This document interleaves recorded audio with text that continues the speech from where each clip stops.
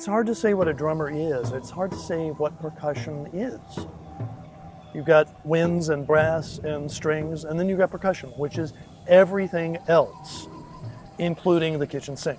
And much of the everything else makes noise, not tone.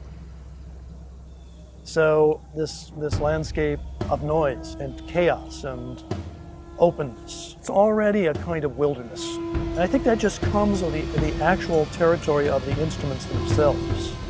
It's inherent in the physical, the acoustic nature of percussion.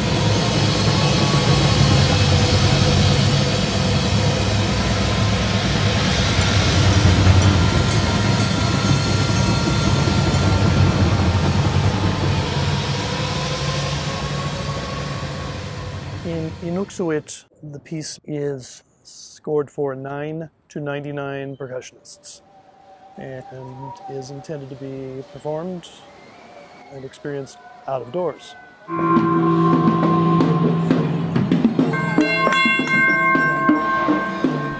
Part of it is is just just the natural evolution of my work over years, making pieces that are bigger and bigger sonic landscapes, pieces that have begun to exceed the capacity of enclosed spaces.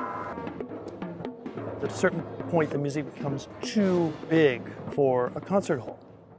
So then you, you, you sort of have no choice but to move outside.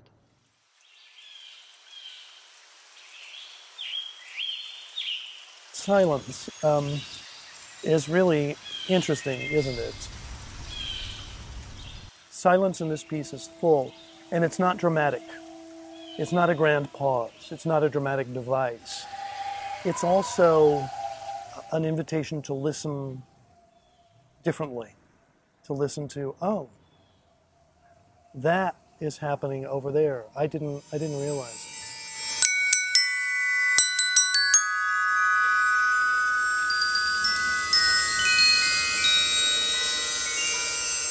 I think what it speaks to is that the inseparable relationship between noise and silence.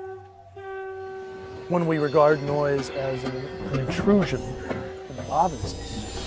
It annoys us. We try to keep it out. But when we welcome noise as something to hear, then suddenly the whole world becomes music.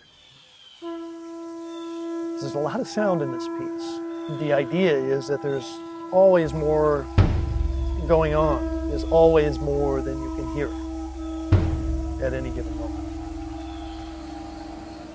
A visual artist who I admire greatly, Robert Irwin, talks about making pieces that are site dependent, pieces that relate to the conditions of the site, wherever the site may be.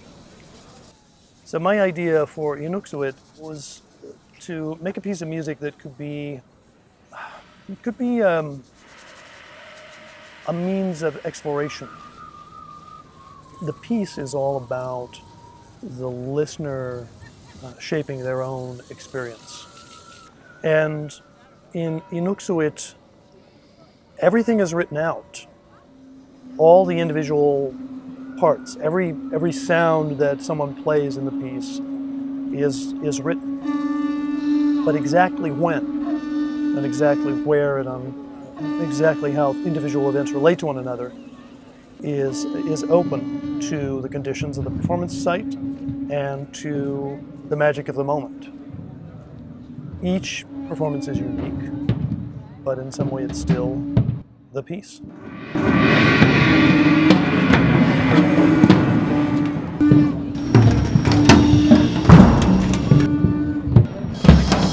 Not a best seat in the house for hearing.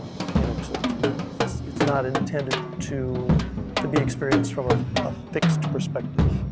Listeners wander all over the place throughout the, the landscape of the piece and the landscape of the performance site so that each person is having a singular and unique experience.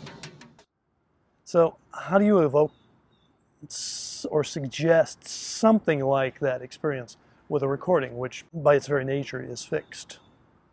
The answer is I'm not sure. I was skeptical at first that this piece could be recorded at all.